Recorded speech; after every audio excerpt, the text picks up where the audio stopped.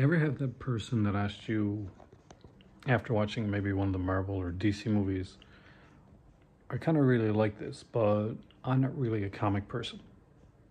Happens to me more often than I would imagine.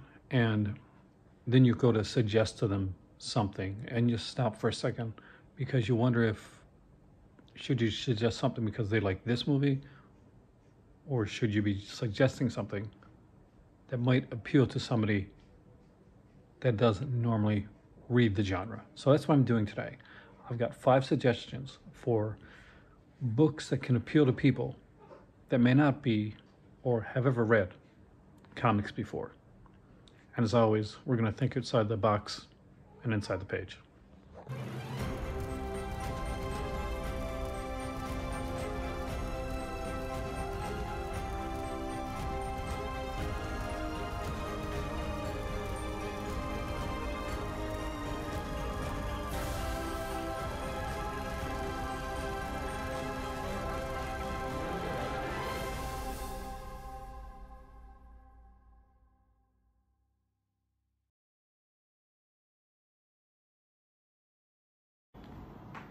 Once called Alias, and now just called, well, Jessica Jones Alias. This probably clued you into on what this is. See, this got a, uh, a Netflix series with Krysten Ritter and a really, really good one. So the Max series was one that was done specifically for adults, so uh, not meant for the uh, for the kiddies. Not that it's you know, it's not a good read. It's just that uh, there is some adult themes in here and uh, the language does get kind of adult, especially when she's talking to uh, one of her boyfriends. The art here is really good and fits the tone of the book extremely well.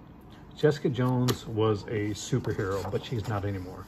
She is a private investigator. She is pretty much burnt out and she doesn't quite know where she wants to go or where she wants to take anything. So Brian Michael Bendis writes the entirety of this here with uh, a lot of this here written by, done artwork by Michael Gaydos, but we have Bill Sank, Bill Sienkiewicz, David Mack, Mark Bagley, amongst others in here. The first story really sets the tone for the uh, for the entirety of the book, and without giving away too much, a woman walks into Jessica Jones' office and pretty much says to her that uh, she wants her to find her friend, and she does find her friend, but uh, unfortunately, she finds her friend with a superhero in a position that could be compromising to him in a couple ways. And in one way, it's because it could probably out exactly who his uh, public persona is. It's a really good story and it plays off extremely well. If you've never read Alias, uh, it, that's just the first case. And it goes through an extremely good run. If you've ever watched the Netflix series, it is very much along that line. So if you like the Netflix series, but you want to get a deeper, more like bigger depth to the uh, to, to the series and what really want to get into the world of Jessica Jones and Alias, then uh, this, my friends, is going to be a fantastic book for you. Some of the art choices are extraordinary, and we get some really different stuff in here, including an issue that uh, Definitely has some wonderful painted artwork here.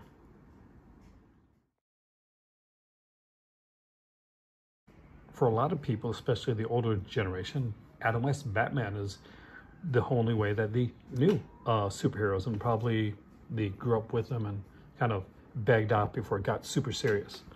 Well, uh, Batman 66 takes us back to the Adam West era of Batman, and uh, it is absolutely gorgeous. It's fun. It's funny. It's irreverent. It's everything you would want a, uh, a Batman 66 to be. Takes all the classic villains from the old Batman 60 series and adds in some newer ones like uh, like Bane and Harley Quinn. And does a great job when it's utilizing the characters from the uh, from the show as well. Look at uh, that really cool looking Vincent Price egghead right there. The artwork is matches the show and matches the uh, the writing extremely well. And if you're a fan of Adam West Batman, you're probably gonna get a lot of enjoyment out of this one. This was put out in like uh, different books, including ones where Batman met up with other characters, including the man from Uncle. This is the omnibus that is now unfortunately out of print, but there's some uh, graphics out here for this one. Uh, if you want to get check it out, just give it a try. And if you ever find this omnibus anywhere, much like I did, I would say grab it, grab it right away.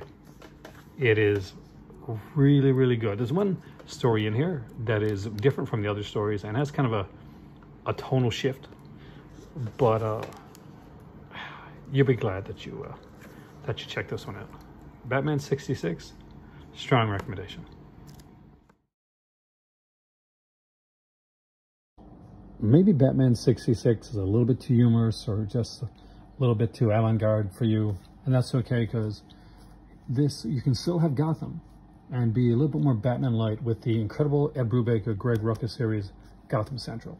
Gotham Central is set in the police station uh, in Gotham, and uh, what what's it like in one of the most corrupt cities in the world when you're a cop there, and you have all these supervillains that Bat Batman can take him on because he's he's he's Batman, and there's Robin and Nightwing. But what about the lives of the actual cops? It's really well done.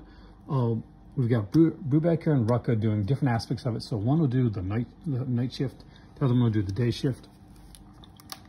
Artwork is utterly fantastic. The stories just keep getting better and better, and you just find yourself getting caught up in the lives of uh, these characters. Don't go in expecting uh, storylines for Commissioner Gordon. He's actually retired at this point.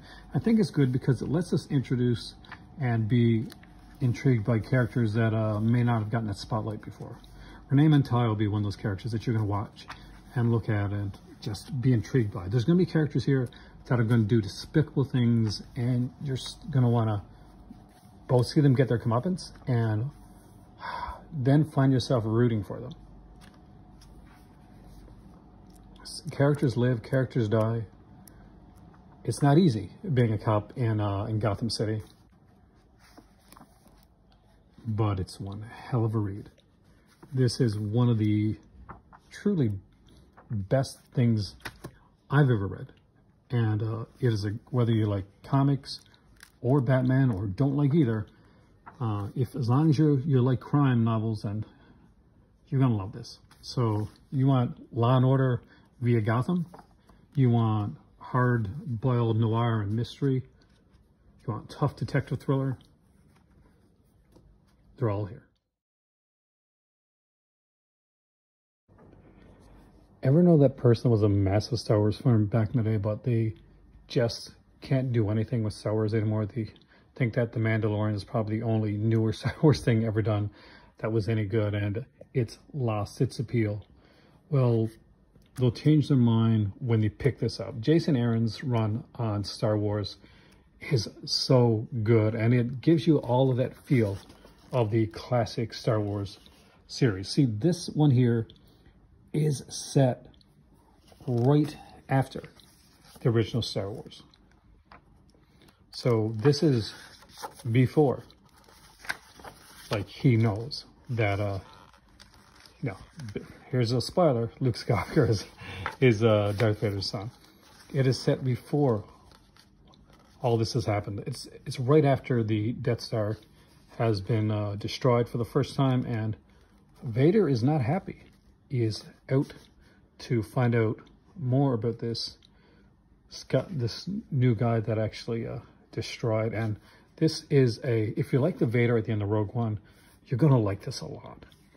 The characters here are all written very true to the, to the way they were in the original films. The artwork, as you can see, is absolutely stunning, be fantastic all throughout.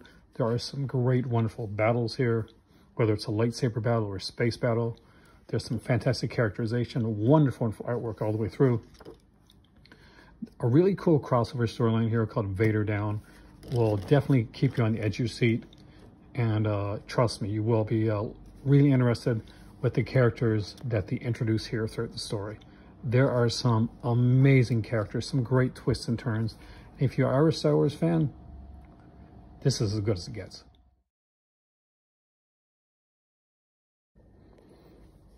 Planetary Omnibus is an amazing read. This has some incredible artwork and is an amazing story. I don't think I can describe it better than just reading right off the bat for this one right here, because it is unique and mystery, mysterious and fun. Um, three people walk the world in search of strangeness and wonder uncover things others wish were left covered. They are mystery archaeologists exploring this the planet's secret history, charting the unseen borders of fantastic world. History such as a World War II supercomputer that can access other universes, a ghostly spirit of vengeance, and an island of lost dying monsters. This is fantastic. There's 27 issues for the entire run. We get the Planetary Batman, Planetary JLA, and the Planetary Authority runs. So yeah, that Authority characters that you are probably curious about because the new uh, James Gunn DCU, uh, they're in here. This starts off really fast, and I have to say it's uh, one that you're uh, you're going to get sucked into right away. It's one where I thought I was going to be able to read it uh, kind of like slowly. But the thing is, you won't because uh, once you get sucked in, you start reading this, you're reading this. You're, you're in. And you're probably going to just go right to the end of the run. It's as big as the book looks. It's actually a fairly quick read, and uh, I definitely recommend the Planetary. So there we go. That's five incredible runs for of comics for people that don't read comics. If I was to start with, with either one of those, I don't know.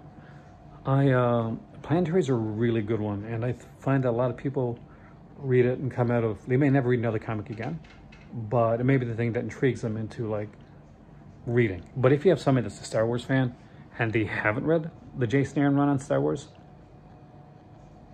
as a Star Wars fan, it's life changing. As somebody that uh, that actually likes the uh, the other you know extended universe stuff and the uh, the films, I was really shocked to find that yeah I was missing a bit of the original Star Wars flavor too, and this delivers. So if you've been missing that too, that delivers.